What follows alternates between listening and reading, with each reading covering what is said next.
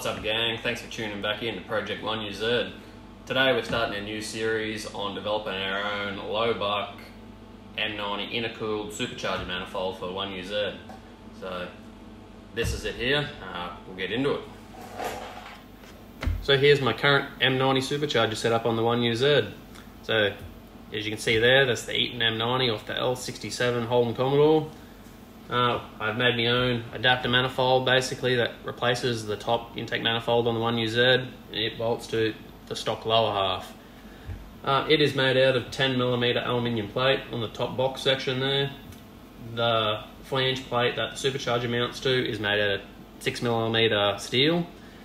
Uh, we've got our riser tubes there, they're 45mm from memory, and then 10mm plates on the bottom that bolt to the stock lower intake manifold. Uh, has worked great.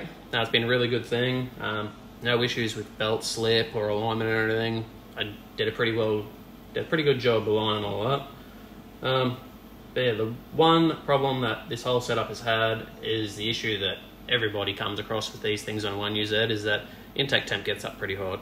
Um, last tack day, I decided that I was going to give it a bit of a test. Uh, at Matsuri, they've got a skid pan, so wet skid pan decided I was going to take the car out there. They do three minute runs and just leave it in first gear and basically ride limiter for three minutes and see how hot it got. Uh, got up to a little bit over 120 degrees Celsius, so fairly cooking. Um, ideally, that's not what you want.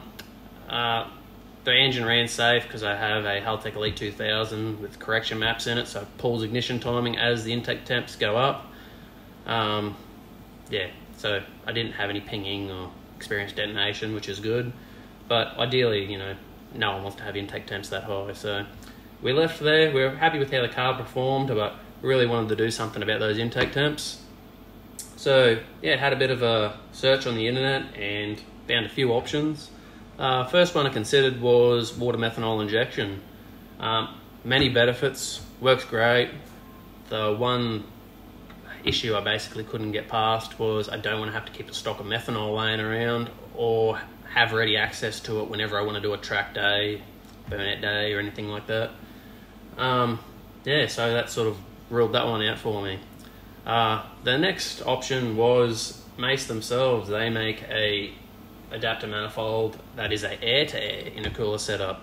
Um, it basically would replace this section here uh, on the Commodores anyway, and supercharger blows into a box which has a two and a half inch from memory uh, port on it that you basically feed your intake piping out into the front of the car, air to air intercooler out the front, and then it feeds back along into the bottom half of their box and then feeds into the heads.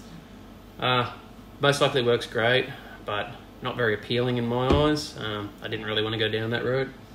So from there, next step is water the air in intercooling. Um, if you follow me Facebook and me Instagram, you probably saw that I was playing around with a water to air intercooler setup to fit inside this manifold. It mounted to the bottom side of that mild steel plate there. Um, just really wasn't happy with how it turned out basically. I wasn't comfortable running it on the car for any length of time really. Um, this is it here. So it's a Davies Craig transmission cooler basically. It's 19 millimeters thick. Um, it's sort of was replicating Mace themselves make a they call it their mini Blizzard kit, and it uses a 19 millimeter core. Looks identical to that basically, but um, encapsulated in like a composite material basically. Um, would probably work fine on lower boost levels, but I mean I'm running 10 psi on this thing, and as I said, 120 degree intake temps. Um, figured it probably just wasn't going to do the job and clearance with fitting coming in and out of here just really wasn't happy with how that was working so decided to abandon that idea. So the next idea from that was this bad boy here. So this is a generic water to air intercooler off of ebay uh, 100 millimeter, 100 millimeter dimension that way and that way. So quite a substantial jump up from the little 19 mil core that's for sure uh, they're a pretty basic setup, so they've got end tanks welded on them, so you would run your intake piping into there and out of there. Uh, we're not going to be doing any of that because, as I said, I don't really find that too appealing. So the plan with this is actually cut the tanks off through there all the way around. Same on the other side, so we're just left with the core on the in the center. Water goes in one side and out the other. And from there, I'm going to be designing a version 2 manifold for my car, basically. Um, I've got CNC machines, so I'm going to do my own drawings and cut all my own plates out. Uh, plan will be same dimensions as this, hopefully, but we'll have a box that comes up from the bottom here, same sort of T-section to come out to meet the flange for the M90. But this is currently about five inches tall, so 125 millimeters tall. Uh, this is 100, so it might end up being slightly taller than that.